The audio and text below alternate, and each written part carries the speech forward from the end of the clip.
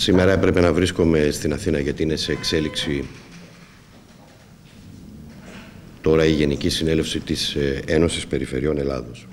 Όμως ε, δεν μπορούσα να φύγω γιατί ξημέρωσε μια δύσκολη μέρα για τη Ρόδο μας. Η βροχόπτωση, η κακοκαιρία της 5ης Νοεμβρίου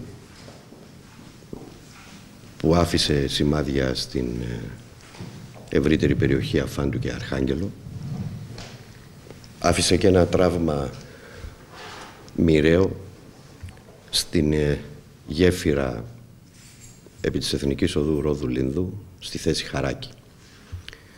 Είναι η μεγαλύτερη γέφυρα του νησιού με ένα μήκος περίπου 130 μέτρα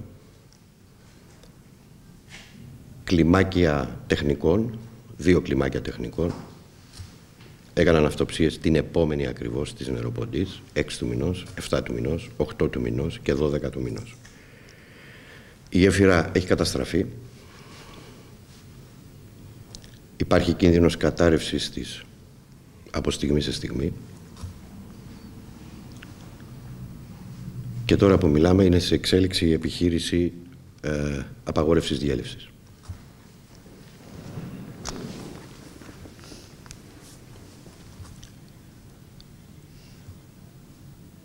Οι συνεργάτες μας στην ε, Διεύθυνση Τεχνικών Έργων. Είναι σε συνεχή συνεργασία με το Τμήμα Τροχέας για την διευθέτηση όλων των ζητημάτων που προκύπτουν στην περιοχή. Και πιστεύω ότι σε λίγη ώρα θα έχει ολοκληρωθεί εκεί το κλείσιμο στους δύο κόμβους στους δύο κυκλικούς κόμβους από τους οποίους μπορεί να έχει κανείς πρόσβαση στη γέφυρα. Επαναλαμβάνω, η απαγόρευση στην ε, χρήση της ε, γέφυρας είναι καθολική, η γέφυρα είναι κατεστραμμένη. Και αυτή τη στιγμή η Τροχέα μαζί με συνεργάτες της ε, Διεύθυνσης Τεχνικών Έργων Δωδεκανήσου ολοκληρώνει τον αποκλεισμό της περιοχής αυτής. Θέλω να ζητήσω από όλο τον κόσμο κατανόηση και να συμμορφωθούμε όλοι προς τις υποδείξεις της τροχέας. Η κυκλοφορία αυτή τη στιγμή δεν έχω τελική εικόνα να σας δώσω γιατί είναι σε, σε εξέλιξη η απόφαση πρέπει να καθαρογράφεται τώρα η απόφαση από, τον, από την τροχέα θα αναρτηθεί σε λίγη ώρα και θα τη δούμε και εμείς.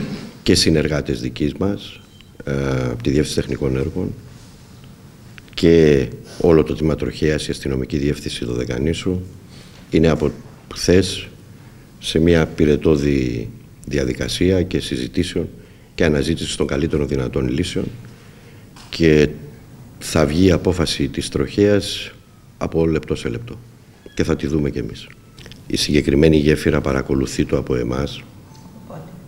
Μα, τουλάχιστον στη θητεία μου, τη δική μου παρακολουθεί το πάντα. Δεν ξέρω και πριν αν παρακολουθεί το. Δεν είμαι απολύτως σίγουρος γι' αυτό. Η γέφυρα ήταν ασφαλής για χρήση στο κοινό. Ε, είχε ένα θέμα. Είχε θέμα η γέφυρα. Και γι' αυτό ήταν σε ένα πρόγραμμα παρακολούθησης συνεχές. Δεν ρισκάραμε ποτέ ανθρώπινη ζωή σταθερά ελέγχαμε τη γέφυρα και ειδικότερα μετά από κάθε ε, έντονο καιρικό φαινόμενο.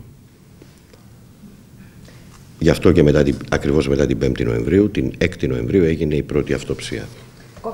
Η ανθρώπινη ζωή δεν είναι κάτι το οποίο είναι διαπραγματεύσιμο για μας ή μπορεί να μπει σε κίνδυνο ποτέ. Όσο η γέφυρα ήταν ασφαλής για χρήση από το κοινό, ήταν σε κυκλοφορία.